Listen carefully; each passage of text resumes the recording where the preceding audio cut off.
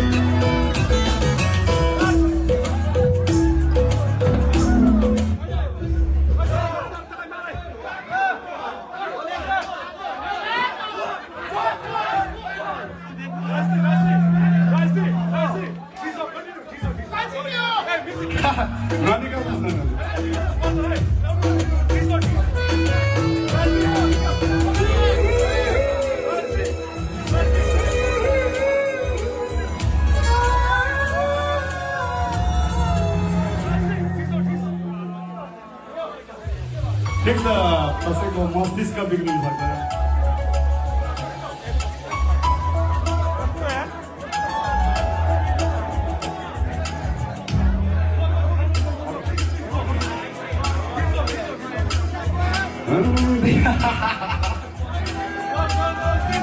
साथै भाइरलको लागि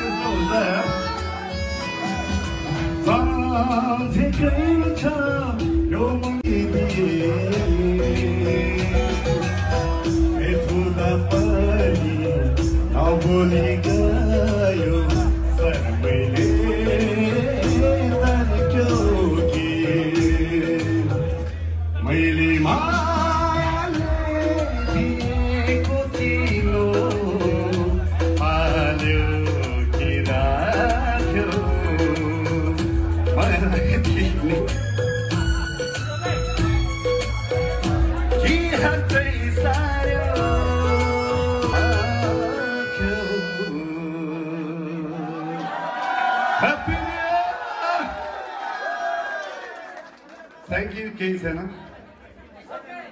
पछाडिबाट पनि मिठै लाग्छ राजेश पौरालाई अगाडिबाट आएको चाहिँ ज्वालामुखी पनि म निल्छु जस्तो लाग्छ। अगाडिबाट आएको ज्वालामुखीहरू पनि म निल्छु जस्तो र पचाउँछु जस्तो लाग्छ तर मलाई पछाडिबाट आएको अङ्गालो त झनै स्वीकार्य छ। राजेश पाल राई राजेश पाल राई न कहिले हार्न जान्दछ न कहिले भाग्न जान्दछ। किनकि राजेश पाल राई त्यो देशको माटोले जन्माएको हो जुन देशको माटो छुन पनि स्वर्ग पुगे जस्तो छ त्यो हो बुद्धको देश र सगरमाथाको देश। नेपालबाट आएको हो र नेपाललाई कसैले हराउने कोसिस मात्र गर्छन् त्यो ठुलो दुस्साहस गर्दैछ। Thank you happy new year आजको दिन यी रिस रागहरू यी रिस रागहरू सबै डिलेट हुन् हामीहरू सदा सुखी हौँ। तपाईँ हामीले चाहेको पुरा होस् किनकि तपाईँहरू यतिका धेरै काम छोडेर आफ्नो ड्युटी छोडेर परिवार छोडेर मेरो लागि र मेरो सङ्गीतको लागि आउनु भएको छ। त्योभन्दा ठुलो आशीर्वाद केही हुन सक्छ जस्तो मलाई लाग्दैन।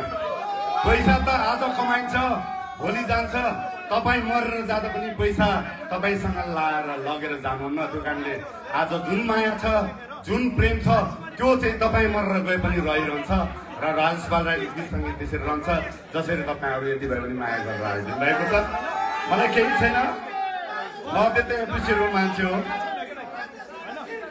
टिकटकमा भाइरल हुनुको लागि त्यस्तो गर्नुभएको होला होइन होला। तर कि भाइरल चिजहरू त्यस्तो हुनु हो त्यो जीवनमा उहाँले सोचेर सोचेर उहाँ आफै आत्महत्या गर्नुहुन्छ जस्तो लाग्छ। त्यही कारणले सत्य मान्छेलाई सत्य कुरालाई कहिले पनि हामीले बिना आकलन गर्नु हुँदैन। हे brother thank you thank you हो कि होइन? साथीहरू चुपचाप बस्नुभयो त। यहाँ यहाँ हामी जति छौँ जे छौँ सत्यमा अड्यौँ। सत्य नै संसार हो सत्य नै विश्वास हो र विश्वास नै जीवन हो कृपया एकचोटि मनन गर्नुहोस्। तपाईँ हामी के को लागि आएका छौँ र कसका लागि आएका छौँ? के को लागि युएस युएसए न्युयोर्क बसिरहनु भएको छ? कृपया आफ्नो माटो आफ्नो देशलाई सम्झिने कोसिस गर्नुहोला। Happy new year happy new year thank you okay अब रमाइलो गरौँ है। आजको रिसरात कोरोनालाई हामीले जितेका छौँ। यस्ता अनेकौँ युद्धहरू आउने गर्छ अनेकौँ सामानहरू आउने गर्छ। त्यसलाई हामीले जित्नुपर्छ किनकि हामीहरू नेपाली धरतीको छोरा हौँ र यो छोराहरू कहिले पनि हार्नु हुँदैन। त्यसो भन्दामा छोरीहरू पनि हुनुहुन्छ।